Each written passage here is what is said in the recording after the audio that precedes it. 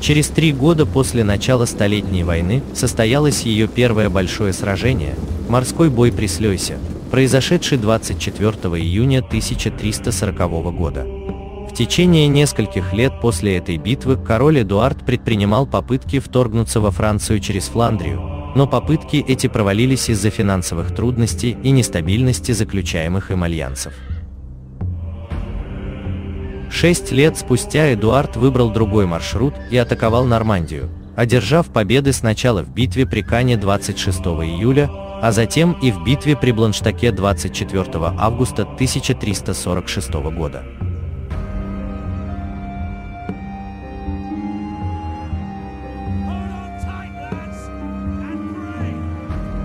План французов заманить англичан в ловушку между двумя реками Сеной и Сомой провалился, а обходной маневр англичан привел к битве при Кресе, второй по значимости битве этой войны. Эдуард III расположил свои силы на хребте холма у деревни Креси, фронтом в двух тысячах ярдов, окруженным естественными препятствиями с флангов. Сам король со свитой расположились в мельнице на небольшом холме, который закрывал армию с тыла, из которого он мог контролировать ход всего сражения. Такой сильной оборонительной позиции Эдуард отдал коннице приказ принять сражение спешившись. Французская армия, ведомая самим Филиппом VI, была сильно дезорганизована по причине излишней уверенности французских рыцарей в исходе сражения. Филипп поместил генуэзских наемников с арбалетами в авангарде своего войска, а кавалерию отвел в тыл.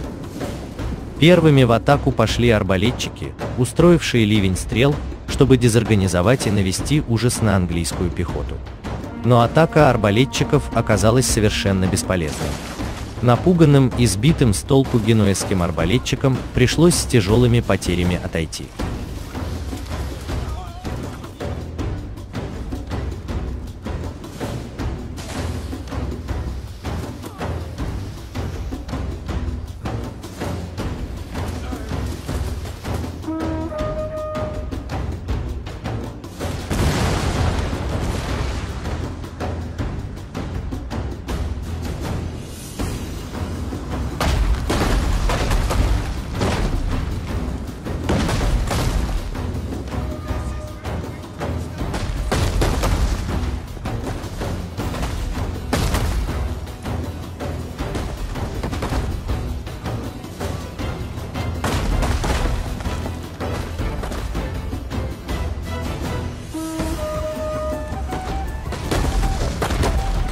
Увидев неудачу арбалетчиков, французская кавалерия выстроилась рядами и тоже пошла в наступление.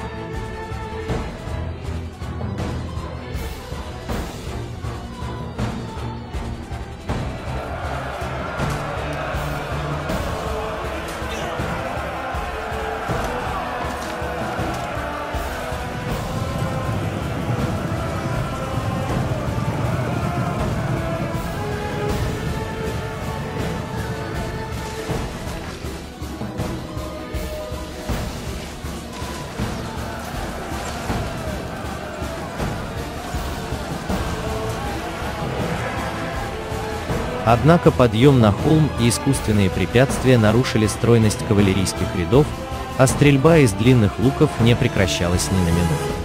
Французам не удалось нарушить боевой строй англичан даже после 16 атак и ужасающих потерь. С наступлением ночи раненый Филипп VI отдал приказ об отходе. Так Франция потерпела сокрушительное поражение. Битва при Кресе утвердила временное военное превосходство валийского длинного лука над французской комбинацией арбалета и тяжело вооруженного рыцаря по причине намного большей скорострельности и большего радиуса действия лука в руках умелого лучника по сравнению с арбалетом того времени. Именно благодаря этому превосходству, по мнению некоторых историков, битва при Кресе весьма надолго предопределила тактику ведения войны англичанами.